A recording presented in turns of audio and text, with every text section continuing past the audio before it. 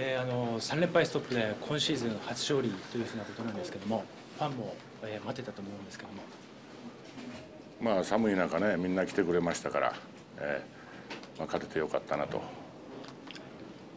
あの塩見投手プロ初完封というふうな。ああいつ初ですか？初、はい、あ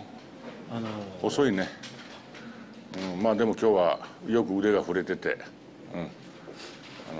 最初ちょっとボール高かったけど途中から低めに低めに